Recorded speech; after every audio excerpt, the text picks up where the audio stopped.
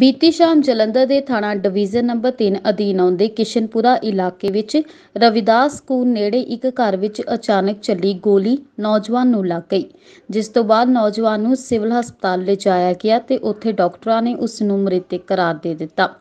ਮ੍ਰਿਤਕ ਨੌਜਵਾਨ ਦੀ ਪਹਿਚਾਣ ਹੈਪੀ ਸੰਧੂ ਵਜੋਂ ਹੋਈ ਹੈ, ਜੋ ਕਿ ਬੁਲਟ ਮੋਟਰਸਾਈਕਲਾਂ ਦਾ ਕਾਰੋਬਾਰ ਕਰਦਾ ਸੀ।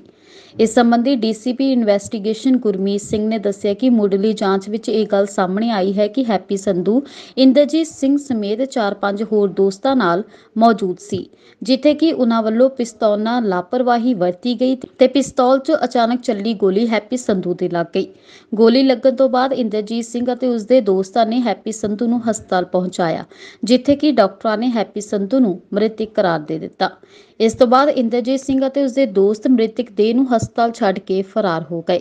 ਡੀਸੀਪੀ ਗੁਰਮੀਤ ਸਿੰਘ ਨੇ ਇਹ ਵੀ ਦੱਸਿਆ ਕਿ ਮ੍ਰਿਤਕ ਹੈਪੀ ਸੰਧੂ ਦੇ ਦੋਸਤ ਉਸ ਨੂੰ ਹਸਪਤਾਲ ਲਿਜਾਣ ਤੋਂ ਪਹਿਲਾਂ ਖੂਨ ਦੇ ਦਾਗ ਵੀ ਸਾਫ਼ ਕਰ ਗਏ ਸਨ। ਜਾਂਚ ਦੌਰਾਨ ਇਹ ਗੱਲ ਸਾਹਮਣੇ ਆਈ ਹੈ ਕਿ ਹੈਪੀ ਸੰਧੂ ਖਿਲਾਫ ਕਈ ਅਪਰਾਧਿਕ ਮਾਮਲੇ ਦਰਜ ਸਨ ਜੋ ਕਿ ਪੁਲਿਸ ਨੂੰ ਲੋੜਿੰਦਾ ਸੀ। ਪੁਲਿਸ ਵੱਲੋਂ ਪੂਰੇ ਮਾਮਲੇ ਦੀ ਜਾਂਚ ਕੀਤੀ ਜਾ ਰਹੀ ਹੈ ਤੇ ਜੋ ਵੀ ਤੱਥ ਸਾਹਮਣੇ ਆਉਣਗੇ, ਉਸ ਦੇ ਆਧਾਰ ਤੇ ਕਾਰਵਾਈ ਕੀਤੀ ਜਾਵੇਗੀ। ਅੱਜ ਕਰੀਬ 6:30 ਵਜੇ 6 ਵਜੇ ਇੱਕ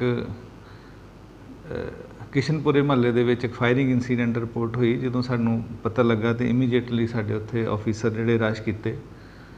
ਤਾਂ ਉਹਨਾਂ ਨੇ ਦੇਖਿਆ ਕਿ ਉੱਥੇ ਇੰਦਰਜੀਤ ਸਿੰਘ ਸਨ of ਜਿਹੜਾ ਅਮਰਜੀਤ ਸਿੰਘ, ਇਹ ਹਾਊਸ ਨੰਬਰ 106 ਗਲੀ ਨੰਬਰ 1 ਜਿਹੜਾ ਕਿਸ਼ਨਪੁਰੇ ਮਹੱਲੇ ਵਿੱਚ ਰਹਿ ਰਿਹਾ ਵਾ। ਇਹਦੇ ਘਰ ਦੇ ਦੋ ਪੋਰਸ਼ਨ ਨੇ। ਥਰਡੇ ਪੋਰਸ਼ਨ ਦੇ ਵਿੱਚ ਇਹ ਆਪ ਰਹਿੰਦਾ, ਉੱਪਰਲੇ ਪੋਰਸ਼ਨ ਇਹਦੀ ਸਿਸਟਰ ਤੇ ਇਹਦੀ ਜਿਹੜੀ ਮਦਰ ਰਹਿ ਰਹੇ ਸੀਗੇ। ਇਹਦੇ ਥਰਡੇ ਪੋਰਸ਼ਨ ਦੇ ਵਿੱਚ ਇਹਦੇ ਨਾਲ ਇੰਦਰਜੀਤ ਪਲੱਸ ਹੈਪੀ ਸੰਧੂ, ਉਹਦੇ ਨਾਲ ਤਿੰਨ ਚਾਰ ਜਣੇ ਹੋਰ ਸੀਗੇ। ਉੱਥੇ ਬੈਠੇ ਸੀਗੇ।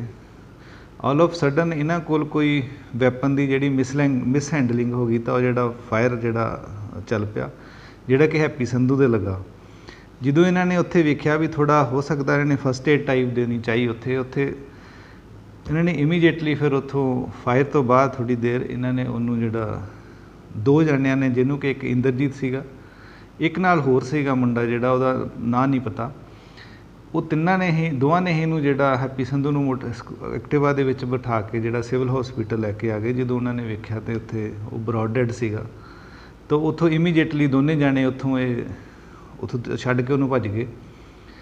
ਜਦੋਂ ਅਸੀਂ ਜਾ ਕੇ ਸਾਰਾ ਤਸਦੀਕ ਕੀਤਾ ਤਾਂ ਉੱਥੇ ਹੀ ਪਤਾ ਲੱਗਾ ਵੀ ਇਹ ਇਸ ਕਮਰੇ ਦੇ ਵਿੱਚ 4-5 ਜਣੇ ਸੀਗੇ ਅਤੇ ਕੋਈ ਫਾਇਰ ਦੀ ਆਵਾਜ਼ ਆਈ।